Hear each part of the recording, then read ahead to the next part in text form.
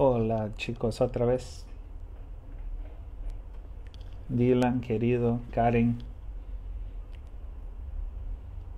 Ahí reinicié la transmisión para ver si podemos conectar con Lucas. Ahí está.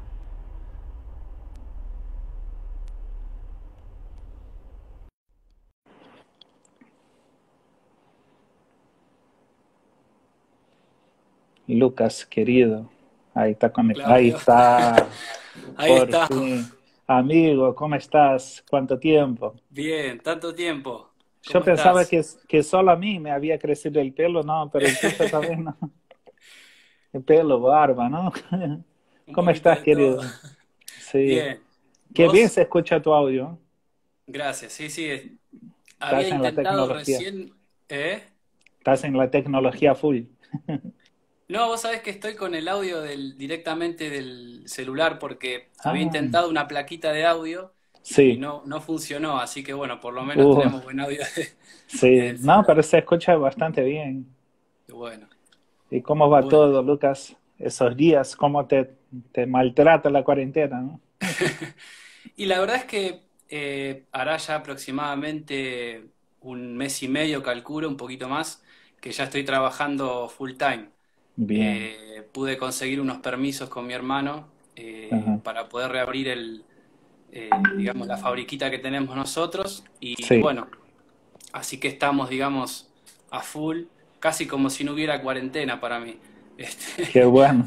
sí, yo, decía a los chicos que yo quería entrar en cuarentena porque a los 10 días empecé a trabajar. Entonces no, no disfruté de eso de estar en casa. Igual no me gustaría, no, no me gusta estar en casa. Y sí, no llega un momento que uno cansa, ¿no? Más que yo vivo solo, no sabes con quién hablar. Sí, yo también. Porque... para eso tengo un gato, pero ya cansé del gato también. Claro. Hay que hacer una pelota, ¿viste? Como señor Wilson. Y, sí, sí, y empezar a charlar. Menos mal que tenemos hoy la, la tecnología, ¿no? Las redes sociales, el WhatsApp. Yo me acuerdo que cuando llegué acá a Argentina no existía WhatsApp. Mm. Entonces hablar con mi familia era muy complicado. Tenía que ir a un locutorio, era muy costoso. Y mm. bueno, gracias a Dios por la tecnología. Bueno, eso, eso me lleva a una pregunta, ¿no? Que siempre hago también en la escuela. ¿Qué haría Jesús con Facebook o con Instagram, ¿no? ¿Qué haría? ¿Sería como Roberto Carlos, un millón de amigos? No, realmente yo creo que eh, más que tener o no un perfil, es eh, qué se hace con eso, qué uso se le da, ¿no? Y yo creo que Jesús hubiera sido tan eh, neutral como él era, porque él respondía de una forma que no tenía partidismo ni tenía una asociación con algo, sino con su padre, ¿no? Cada respuesta que él daba venía del padre y reflejaba su carácter. Entonces, yo creo que Jesús hubiera tenido Facebook, este, pero él lo hubiera sabido usar y creo que muchos ya estamos aprendiendo de a poquito eh, a darle un uso donde podamos también comunicar lo que tenemos dentro, ¿no? Eh, lo que Él hace en nosotros y las respuestas que Dios quiere que demos. Eh, hay un, un hermano que, que siempre eh, habla de esta, eh, la tribu de Isaacar, ¿no? que está ahí en, en, el Antiguo Testamento, que eran 200 que Dios había elegido para que lideraran al pueblo y ellos eh, tenían sabiduría, ¿sí? autoridad y podían de esa forma y entendimiento, tres cosas, ¿no? conocían los tiempos, tenían sabiduría de Dios y la autoridad que lo da el carácter, ¿no? Entonces ellos, yo creo que Jesús hubiera tenido la misma actitud, es decir, hubiera tenido las respuestas eh, correctas, eh, pero se las hubiera dado el Padre, no por un impulso, ni por un partidismo, ni, nada por el estilo, no hubiera buscado su propia difamación o su fama, ¿no? Él no lo hacía, esperaba los tiempos que Dios daba, ¿no? Eso te iba a decir, no lo hizo, ¿no? En esa época no lo haría hoy. Tal cual, tal cual. Bueno, empezamos con preguntas y bueno, no te presenté. Eh, bueno, Lucas es un amigo, ahí se están conectando los chicos de la escuela, seguramente hay gente de Bolivia, sé que ya hay una acá de Venezuela, Petra, eh, gracias a Dios, esa cuarentena favoreció a la escuela, eh, puedo decir que impulsó la visión de adorarte. Hoy tenemos alumnos en cuatro países, ¿no? Argentina, Colombia, Venezuela y Bolivia.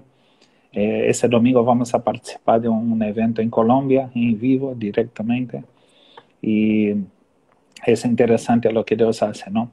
Y quería que, que te presentaras un poquito, Lucas, que contara un poco quién, quién sos, qué haces, y después entramos en call. Dale. Eh, bueno, mi nombre es Lucas. Eh, bueno, yo básicamente soy hijo de Dios antes que todo, ¿no? Este, trabajo junto con mi hermano, tenemos una empresita que, él fundó y que bueno, yo después me uní con él y nos dedicamos a, cosas complicadas como la automatización industrial, la robótica. Uh. Este, así que trabajo full time y sirvo a Dios también en las oportunidades que tengo en, mi congregación. Eh, bueno, tengo 32 años. no este, parece.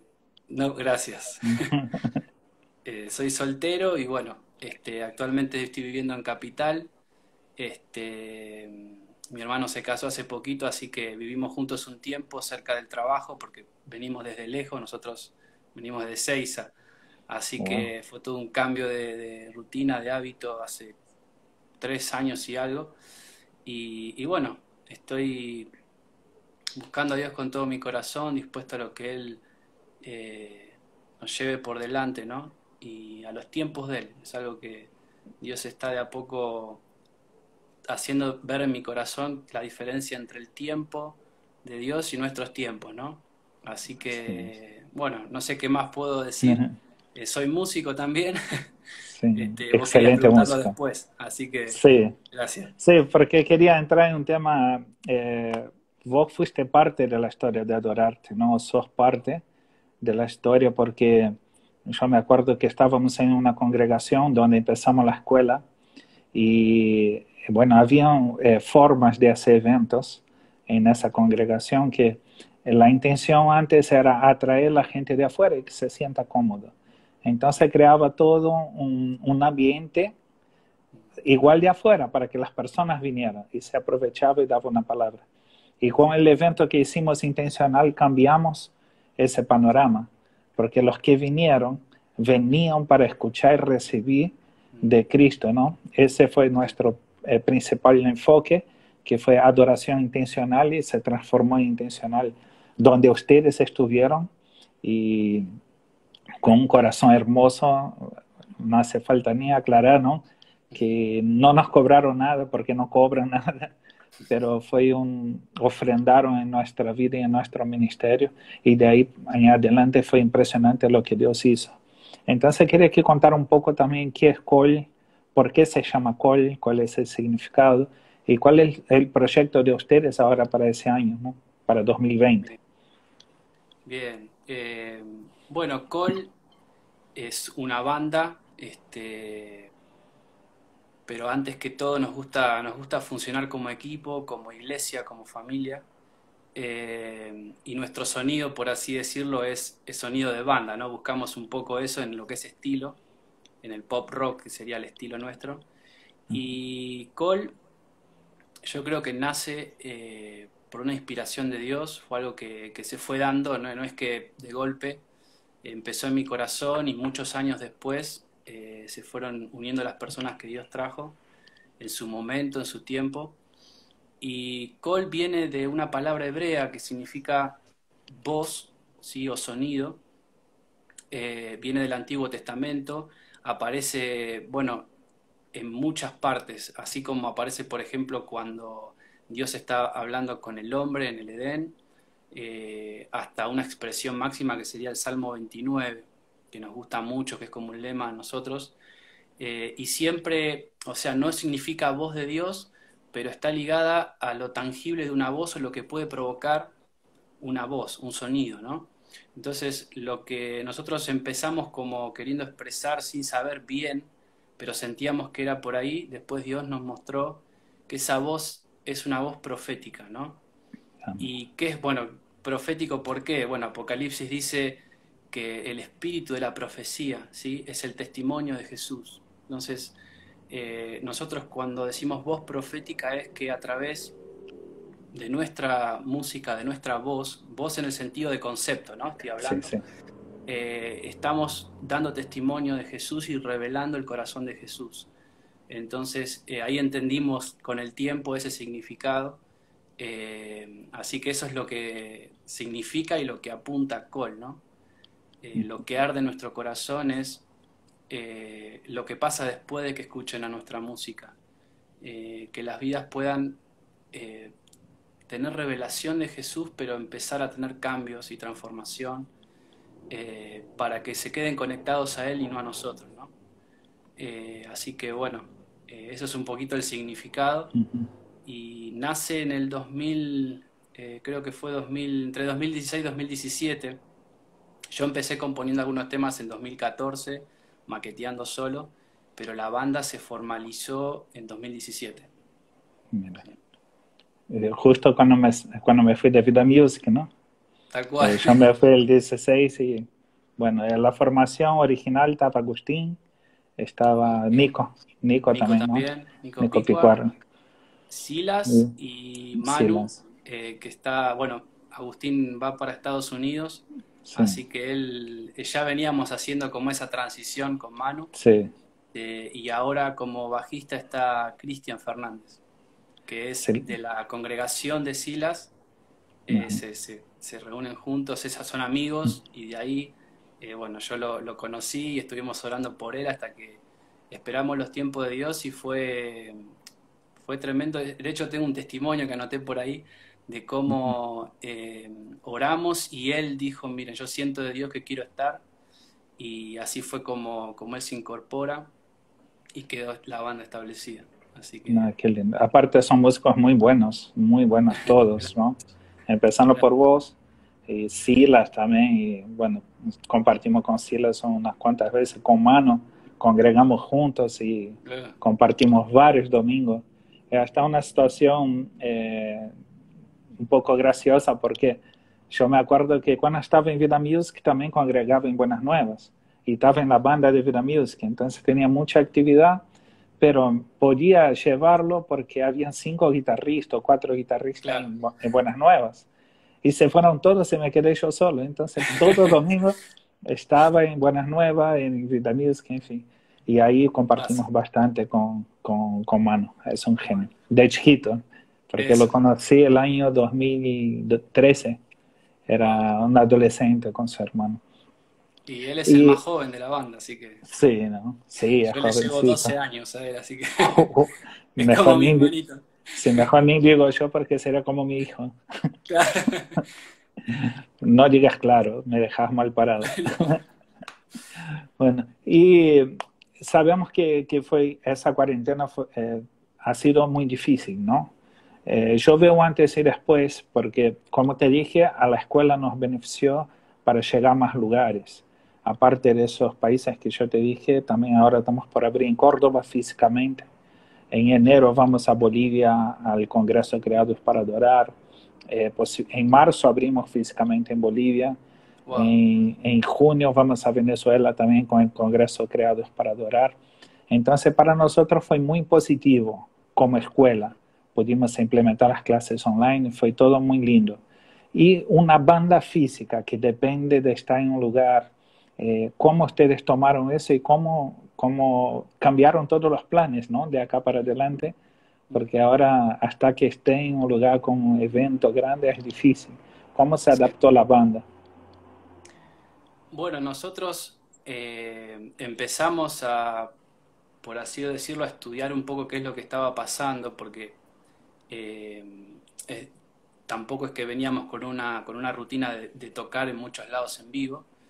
Eh, pero sí nos empezamos a preguntar eh, cómo Dios nos podía guiar en este tiempo para eh, mantener una, conexión con, aquellos que escuchan.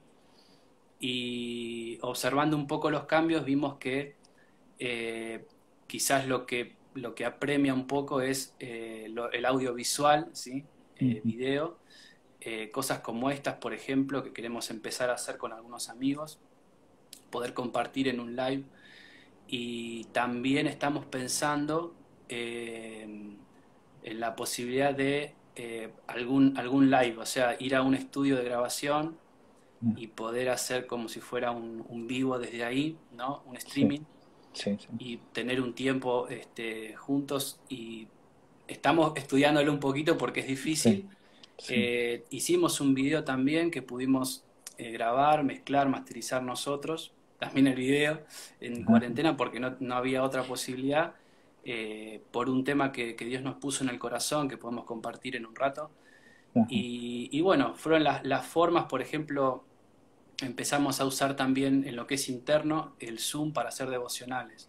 Nosotros tenemos dos devocionales por semana y empezamos a ver una, una, riqueza, un trato de Dios con nosotros, una unidad en el espíritu, una dirección en muchas cosas que no, que no, no veíamos quizás de esa forma y, hasta nos, en un momento dijimos, ¿por qué no lo hicimos antes? Como que quizás eh, todo esto ayudó y aceleró un poquito toda la cuestión de, bueno, educativa ni que hablar, ¿no? Vos me imagino que estás, como vos decís, mucho más a full que antes. Sí. Y, nosotros un poquito estamos empezando ese proceso. Yo creo que las bandas ahora van a tener que reinventarse y, ver esto del streaming, eh, de, tener un buen lugar, una buena señal, de cómo hacer, porque no es fácil. Eh, de hecho, eh, bueno, en nuestra congregación empezamos a hacer un streaming el fin de semana. yo estuve compartiendo también en el grupo de oración y, al principio como que cuesta un poquito, ¿no? Uno, está acostumbrado a una dinámica y, bueno, es, una cuestión de reinventarse y también no tener negación. Yo creo que, que algo que, que es parte también de la renovación de nuestra mente como hijos de Dios, es poder adaptarnos, ¿no? Y, ser luz y brillar en la forma que Dios nos da ahora, que es esta. Que esperemos que pase pronto, pero bueno, eh, es lo que... Y, muchas cosas no van a cambiar, ¿no? Viste que se habla de esto un poco de la nueva normalidad. Este, en algún punto, en este tipo de cosas, eh, va a cambiar la educación, las redes, el uso que se le da. Así que bueno, eh, vamos de a poquito buscando esto. Sí, yo creo que, que, fue un cambio para siempre, ¿no? No es un cambio, porque mucha gente se resistía y por un lado yo pienso que es bastante bueno, porque yo siempre decía, ¿no? En mis épocas yo no tenía YouTube, cuando empecé a estudiar por mi cuenta, tenía que sentar, viste, en la iglesia, mirar al guitarrista y tenía mi guitarra, iba copiando los dedos porque no teníamos acceso. Y yo hablo con mis hijas, tanto recurso tiene para, para explotar ¿no? el Internet, YouTube, todo, y ustedes solo piensan en jugar, en Roblox. Eh. entonces creo que esa fue, un, fue una época de entender que tenemos mucho más, no solo para recibir, también como para dar a través de las redes. ¿no? Totalmente. Y, y eso del streaming está buenísimo. Eh, eh que lo hagas eh, el en vivo desde un estudio, porque hay una necesidad de eso, porque llega un momento que ya vimos todos los videos, ya escuchamos todas las músicas y cuesta repetir un poco. Entonces esa renovación está muy buena que, que lo hagan. Y como, como bien decías, ¿no? Col no es una banda, ya es casi un ministerio, podría decir, ¿no?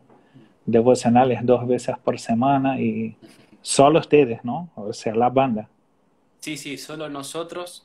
Eh, nosotros cuatro, bueno, tenemos ahí unas dos horitas generalmente y ahora empezamos también a incluir un, ratito antes para organizarnos y todo lo demás. Sí. Y otra cosa que también estamos haciendo con eso es eh, tratar de vincular un proyecto por, por, Google Drive y ver cómo lo podemos llevar para maquetear en tanta distancia, hasta que salgan los permisos y demás. Y sí, nosotros creemos que eh, tuvimos todo un tiempo de adaptación para entender eh, que Dios nos llamaba a un ministerio, ¿no? Eh, no tenemos el alcance y la dimensión, o sea, hay cosas que sí Dios nos dijo, hay cosas que todavía no y que de a poco nos va mostrando. Mm. Yo creo que lo hace por misericordia porque con, hoy en día, viste que todos tenemos varias actividades en general y Él de a poco nos va eh, equilibrando con nuestra madurez. Entonces, eh, lo entendimos así porque llegó un punto que nosotros empezamos a sufrir una transformación interna en cuanto no solo a las motivaciones, sino al carácter y, lo que significa, digamos, el precio de que el Espíritu Santo acompañe lo que hacemos. Eh, eh, el precio de la cruz, de la consagración, porque llega un punto donde vos, cuando empezás a buscar de Jesús y te enamoras de Él, eh, lo único que querés hacer es que Él se manifieste. Entonces, no solo cambian las motivaciones, ¿no? empiezan a cambiar las dinámicas de nuestra vida, los porqués, todo se empieza como a encauzar a poder dar, ¿no? De lo que Él nos da. Y, buscar esto que te decía al principio de que fue por ahí el, salto que más sentimos eh, de, ser una voz profética, ¿no? Eh, para nosotros hoy por hoy, antes de, ir a tocar, eh, o sea, premia y nos arde en el corazón lo que Dios quiere hacer. Por eso pensamos, por ejemplo, en los devocionales o cuando nos juntamos, armamos la lista de canciones en base a una línea que Dios nos da. Si Dios quiere hablar sobre determinada cosa o quiere comunicar determinado mensaje, buscamos que las canciones que tenemos nosotros y algunas que usamos para, para complementar puedan comunicar eso que Dios quiere. ¿no? Entonces como que no solo, no solo vuelvo ¿no? a esto de las motivaciones, Dios cambió todas las dinámicas, o sea, todo lo que empezamos a hacer y a proyectar tiene que ver con eso o sea, con ese propósito de, que Jesús sea revelado. Amén. Eh, sobre eso que, hablaste de, buscar a Dios y eh, buscar eh, a, Jesús todo el tiempo, ¿no? Quiere más. yo también acostumbro decir a los chicos que para mí el modelo de adorador en la Biblia, el modelo clave para mí es Moisés. Todos hablan de David, David, David. Y me preguntado, Moisés, ¿qué tiene que ver? Nunca tocó un instrumento. Pero cuando, vas, eh, cuando Moisés es llamado por Dios, que vea la zarza, que no se consume, la Biblia destaca un pedacito, un texto que dice, y tuvo miedo de, de mirar a Dios. Pero cuando va ya al final, ya casi el final de la historia de Moisés, cuando ya está en el desierto todo, eh, Moisés está diciendo, te quiero ver, yo te quiero ver. Eh, y no me muevo de acá, yo te quiero ver hasta que Dios dice, bueno, metete en la cueva, yo voy a pasar, me vas a ver espalda. O sea, la insistencia de Moisés al punto de decir, si no vas con nosotros, no nos movemos, porque es tu pueblo. Y Dios aún dice, yo confío en vos. Y Moisés aún, medio que desafía, dice, si decís que confías en mí, hace eso para que yo te pueda amar. Y yo miro a Moisés en esa actitud y, en realidad esa tiene que ser nuestra, nuestra visión, ¿no? O sea, cuanto más estamos con Dios, más queremos estar, más queremos saber de Él. Y esa es la diferencia de un adorador para una persona que canta, ¿no? Para un músico común y corriente. Y eh, nuestra música tiene que comunicar eso, ¿no? Eh, yo pasé muchas experiencias que las personas estábamos ministrando en la iglesia y pasaba uno en la vereda, escuchaba la canción, entraba y su vida era cambiada. Mm. Infelizmente no vemos mucho de eso hoy. Hoy estamos muy preocupados con la técnica, con el tiempo y con el ritmo y con, la, con decenas de cosas y, y nos preocupa, y no nos preocupamos en ser instrumentos. ¿no? Y, eh, o sea, por lo que te conozco, por el tiempo que compartimos, y por ser ministrado por ustedes. Acá hay un montón de gente que tal vez ese día vemos eso en ustedes, que no es música. O sea, que ustedes no son músicos, son instrumentos que usan herramientas para comunicar lo que Dios quiere y para que el Espíritu Santo se manifieste.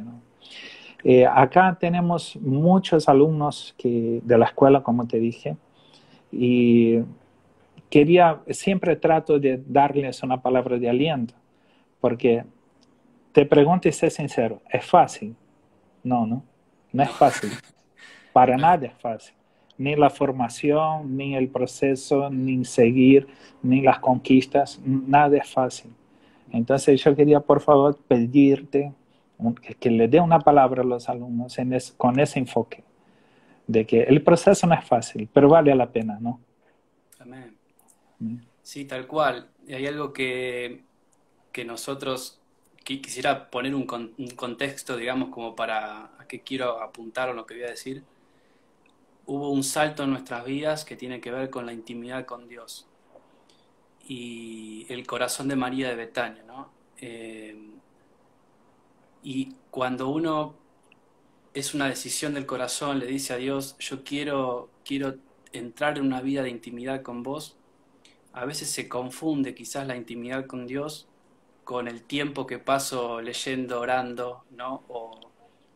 y no tiene que ver tanto con eso, eso es una, son herramientas increíbles que Dios nos da, eh, tiene que ver cuánto espacio le doy a Dios para que Él me transforme. Y eso es un proceso que se empieza y que Dios, eh, con las herramientas que Él nos da, empieza a cambiarnos, a transformarnos, a llevarnos al carácter de Jesús. Y eso que es el secreto, que no es solamente el tiempo en lo privado, el secreto es el espacio que yo le doy a Dios para que Él me transforme. Eh, hoy leía, por ejemplo, en el Salmo 119, y me venía esta palabra, ¿no? Docilidad. Eh, el, que escribe eh, empieza a mostrar esto. A mí me encanta, dice, eh, escuchar tus decretos y obedecerlos y acá y empieza y después es como que se le empieza a complicar y ahí uno empieza a leer y ve que dice, Señor, esto es difícil, pero, pero yo quiero seguir y tu misericordia, y tu amor me renueva. Entonces, es cierto que cuando uno le dice que sí a Dios, hay un precio también, ¿no? Y, más allá de, del precio y de entrar en intimidad con Dios, es lo que vos empezás a vivir.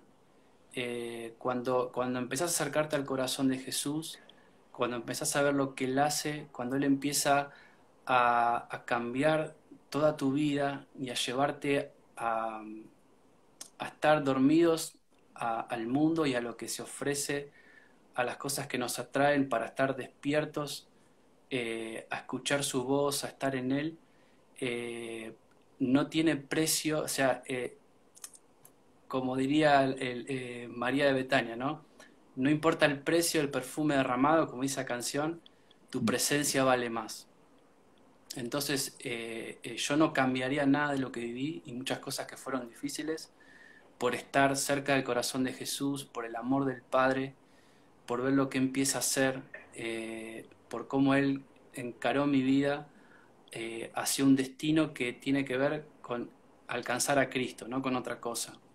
Eh, y Él empieza a ser el que, el que hace todas las cosas y dejamos de actuar por nuestras fuerzas, dejamos de, buscar una santidad que, digamos, está estancada, ¿sí? a veces por, por querer con nuestras fuerzas ganar algo que tiene que ser eh, Cristo en nosotros, que es nuestra esperanza de gloria. Entonces, eh, yo el ánimo más grande que les puedo dar es que eh, no importa el precio del perfume, ¿sí? Y de los que digan, porque a veces nos pasa, ¿no? Este, alrededor, como le pasó a María, hey, eso se pudo haber vendido, o sea, tu tiempo con Dios y tu trato y, todo, todo lo que vos dejás para que Cristo sea nosotros, se pudo haber vendido por un mejor precio, ¿no? Eh, eso es lo que un poco la, la, sociedad y a veces también se escucha un poco en, en, muchos lados o se ve, eh, que nos quieren decir, hey, podrías haber usado tu tiempo para, para vos, para tu felicidad, para, para un montón de cosas que son tal cual.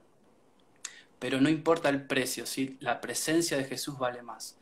Y, y no solo les quiero dejar ese ánimo, que vale más su presencia. Vos fíjate que María de Betania, con ese acto que ella hizo, Jesús dice, eh, ella me está ungiendo para, me está preparando para, ¿no? Y, lo que ella estaba haciendo es un acto profético, no solamente fue su arrepentimiento, su fe, ella estaba desatando todo lo que Jesús eh, tenía que pasar. Y Jesús dice, esta obra, porque la intimidad con Dios también es una obra, ¿no? Exacto. Eh, y bueno, él dice, va a ser recordado, recordado por todas las generaciones. Y a mí lo que me encanta es eso, cuando ya después de empezar a, pagar un precio, de tomar la cruz, del quebrantamiento, de los tratos de Dios, pero también de su, mesa, ¿no? que está llena de, sus manjares, empezamos a ver que eh, Jesús empieza con nuestra vida a desatar cosas que, ni pensábamos eh, y empieza a afectar hacia afuera como no pensábamos. ¿no? Eh, y ahí es donde empezamos a experimentar lo que dice Efesios, que nuestra vida empieza a glorificar al Padre. ¿sí?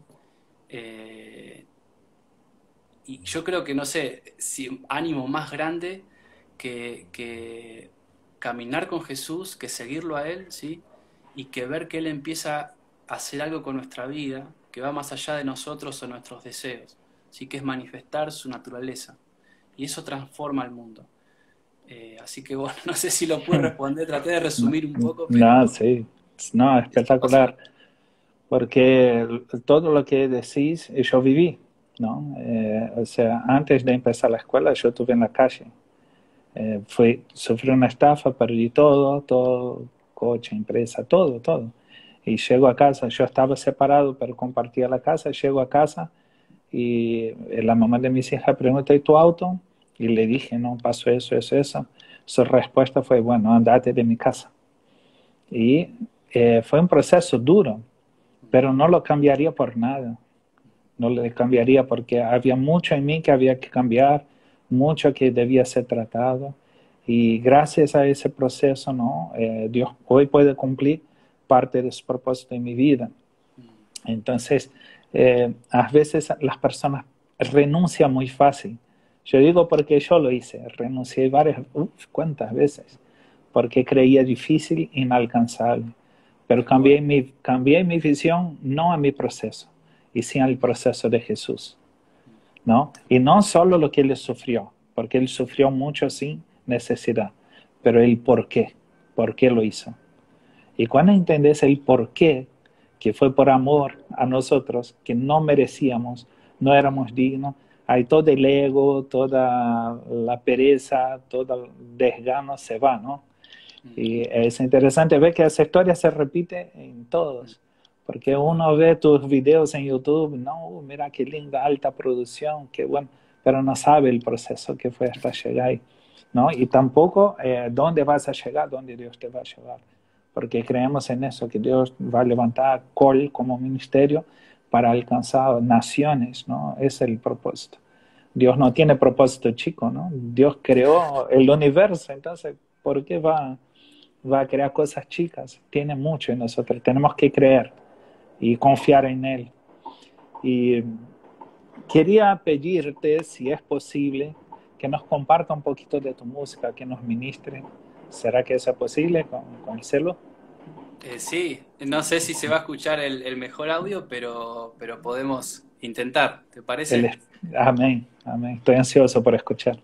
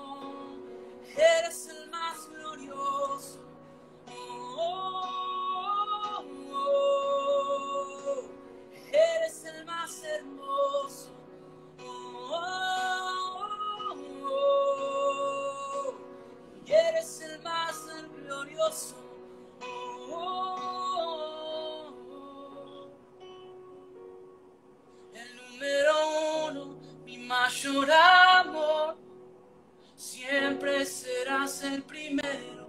Número uno, mi mayor amor, siempre serás el primero. El número uno, mi mayor amor, siempre serás el primero. El número uno, mi mayor amor, Jesús, eres el más hermoso.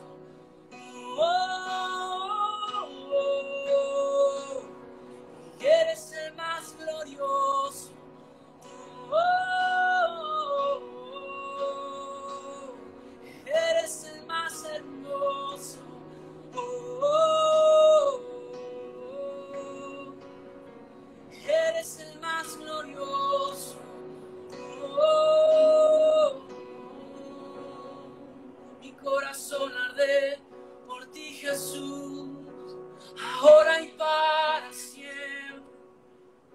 Corazón arde por ti, Jesús, y tú avivas la llama aquí ahora. Quiero tener mi mirada solo en ti, solo en ti, Jesús. Que mis ojos se vean solo, solo a ti. Porque eres el más hermoso. Jesús, eres el más glorioso.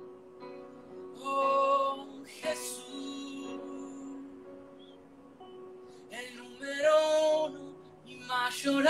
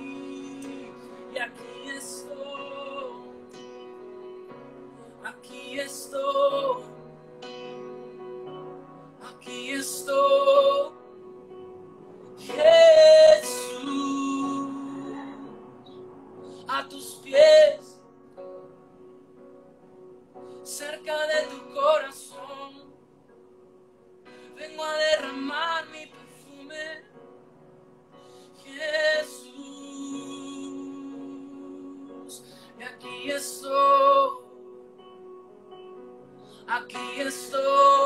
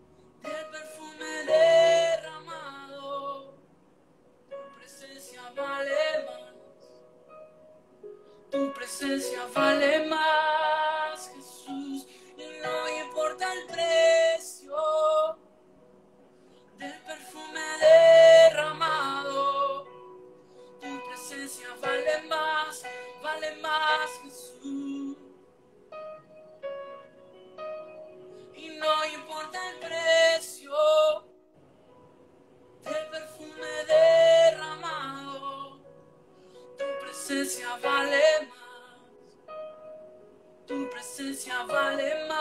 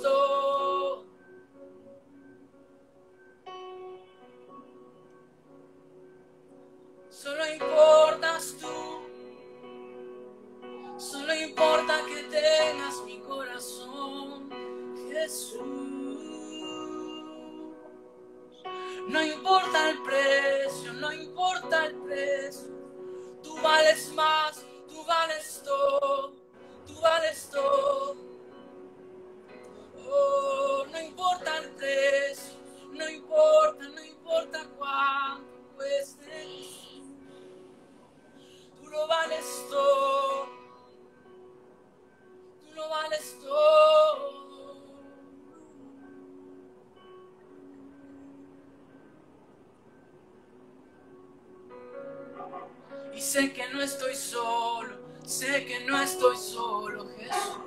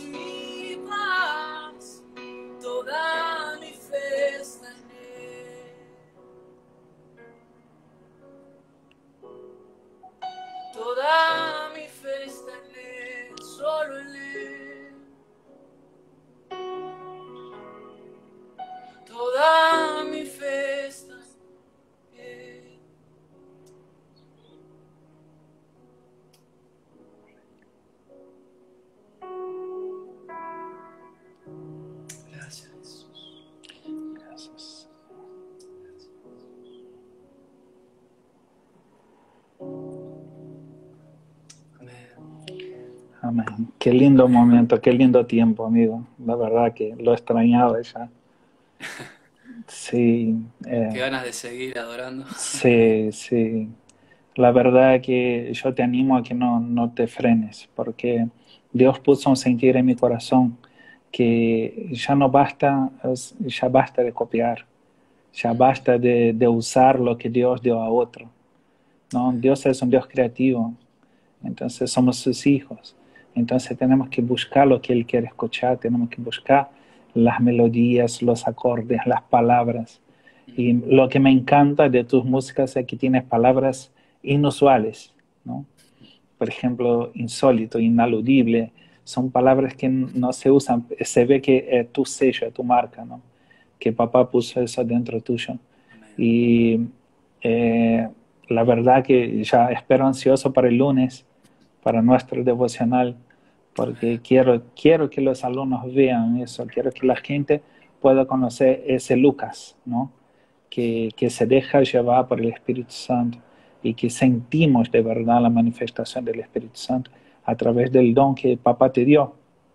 Y sabemos que Él a través tuyo.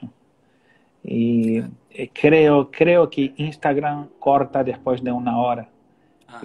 No quiero, sí, no quiero tomarte el tiempo. Quiero aprovechar a invitar a todos los que están online, si quieren sumarse a nuestro devocional el lunes, escríbanme por privado y yo digo cómo, cómo pueden acceder eh, a través de Zoom. Es algo privado pero abierto, ¿no? Y amigo, te quería invitar a que cierre con una oración, puede ser, que nos ministre aún más, no solo con la música, pero también con la oración. Amén. Vamos a orar, Jesús. Amamos que vos seas glorificado, que vos seas el centro.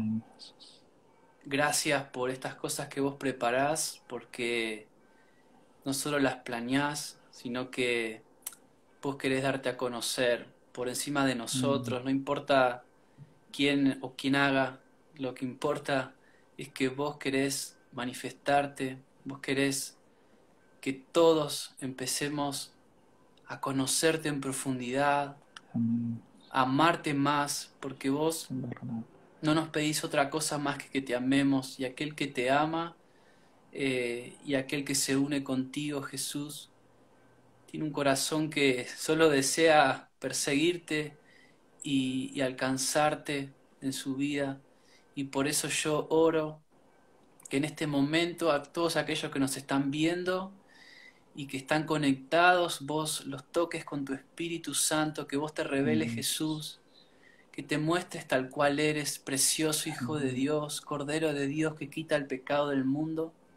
Yo siento que hay algunos que necesitan experimentar perdón y quiero que sepas que Él está dispuesto a abrir sus brazos, a, llevarte a su corazón, a no solo perdonarte, sino cambiarte, a hacerte nuevo, a llevarte a ese lugar de adoración, de intimidad. Él nunca cerró las puertas, Él quiere llevarte al Padre, quiere que incluirte. Así que yo no solo quiero animarte, sino que oro, Jesús, vos tenés el poder para hacer mucho más abundantemente de lo que pedimos o entendemos. Te pido que lo hagas, que ministres el corazón de todos los que nos escuchan, que eches fuera todo miedo, todo temor y que pongas tu sello, que como dice Cantares nos pongas como un sello en tu brazo y como una estampa en tu corazón. Eso es lo que más anhelamos.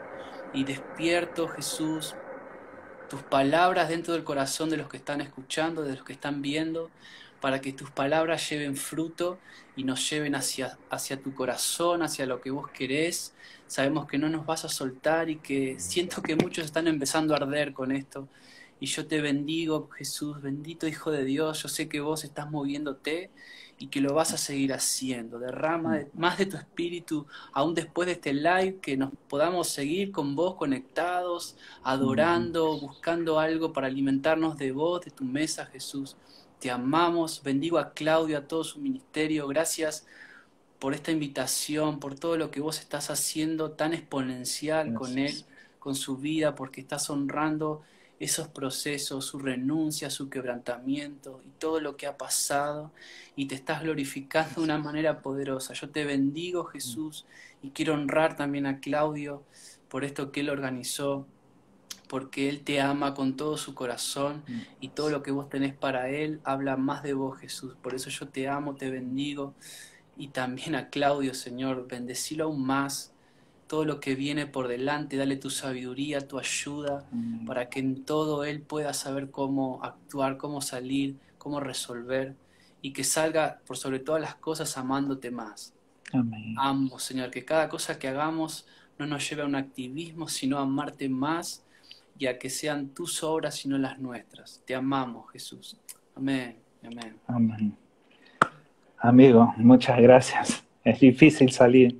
A mí me cuesta salir de esos tiempos, ¿no? De, de intimidad. Muchas gracias, bendigo tu ministerio, tu vida. Que el Señor derrame sobre tu vida aún más. Vos no tenés idea de lo que el Señor va a hacer a través de tu vida, por amor a otros también, ¿no? Para que puedas llevar su amor a través de, naciones. Te quiero mucho y nos estamos viendo el lunes en el devocional. ahí, le digo a los chicos que te sigan, eh, que sigan a Cole, también en las redes sociales y estamos al tanto de lo que vayan haciendo. Buenísimo. Muchas gracias, gracias Que Dios te bendiga mucho. Chao. Buenas noches. Buenas noches. Chicos, espero que les haya gustado, espero que hayan disfrutado como yo lo hice. Gracias por estar, gracias por bancarnos. Y bueno, el lunes eh, tenemos un devocional especial con Lucas eh, a través de Zoom. Los que quieran participar, escríbanme por privado y nos vamos, eh, vamos a pasar la información para que también puedan disfrutar de ese devocional. Muchas gracias, chicos. Que Dios los bendiga mucho. Corto antes que, que Instagram nos corte a nosotros. Que Dios los bendiga. Gracias por estar.